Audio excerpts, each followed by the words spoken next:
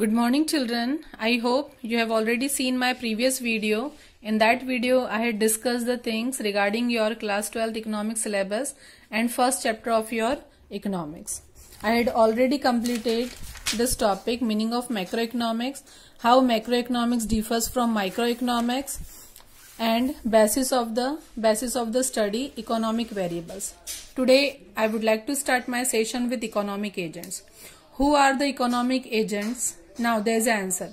Economic agents refers to the individuals and institutions who take economic decisions. Individual economic agents include consumers and producers. They focus on the maximization of personal gains. Yes, individuals are always worried about their personal gains or maybe their own profit. Okay. But in macroeconomics, the big organization like that, Reserve Bank of India, Securities and Exchange Board of India, Telecom Regulatory Authority of India, they will work for the entire nation and their main motive is only social welfare. Okay. So the economic agents are also different under the microeconomics and uh, in a macroeconomics. The next topic is degree of aggregation. Here, degree of aggregation is clearly mentioned. In microeconomics, there is a limited degree of aggregation. Don't be confused. Under the microeconomics is also aggregation is available, but only with the limited degree. It means if we are talking about a particular commodity in a particular region, in a particular area, particular town, it will come under the category of microeconomics. The example is that production of milk in a particular town, in a particular village. They will come under the category of microeconomics. But if we are talking about total production of milk in India, total consumption of milk in India, then it will come under the category of macroeconomics. Okay. That's why here they had given example. Agriculture belongs to primary sector, industrial belongs to secondary sector and service belongs to tertiary sector. If you are talking about total production from primary sector, secondary sector and tertiary sector, it will come under the category of macroeconomics. now, the next topic is different set of assumption.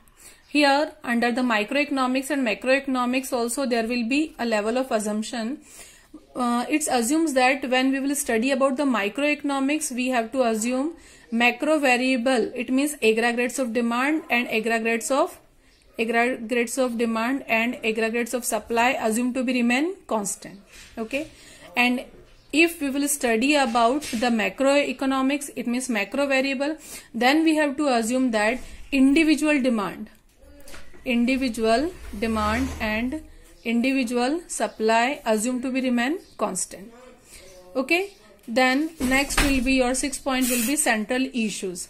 Under the microeconomics there will be allocation of resources. Allocation of resources means how the resources are utilized in the economy they are properly utilizing or not which kind of follow-up action taken by the local bodies or local government this all will come under the microeconomics okay but under the macroeconomics, we have to determine that how many resources are available in our country, whether these all resources are properly utilizing or not.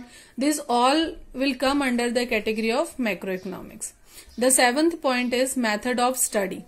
Under the microeconomics,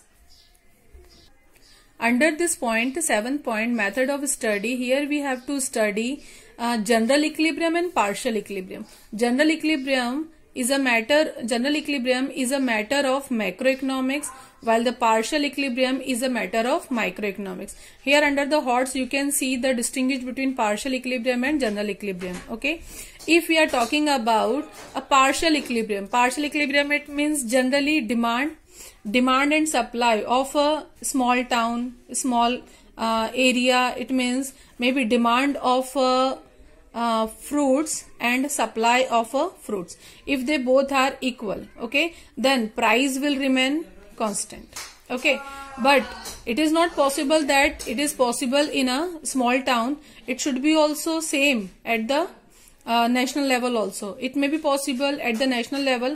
Sometime demand is greater than supply and sometime the supply is greater than demand.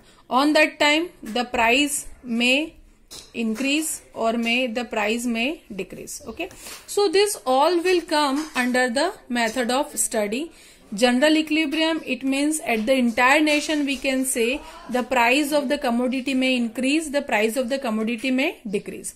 And partial equilibrium it means the in a particular region particular town the price may increase the price may decrease okay? The next one is now the next topic is micro macro paradox paradox means opposite opposite to each other. Sometime some topics may be good for microeconomics but not good for the macroeconomics. Here they had given the example of saving okay? Each and every individual want to save more for their future okay? But maybe at the micro level it will be good okay? But assumes that if the entire nation starts saving their money all the peoples in our country start save their money then it may be possible it will be lossful for our nation. Okay? So we should try to uh, understand that something may be good for the micro but not good for the macro. This will come under the category of micro macro paradox. Okay? Today i would like to end my session with this topic. Uh, then the remaining topic that we will study tomorrow. Thank you.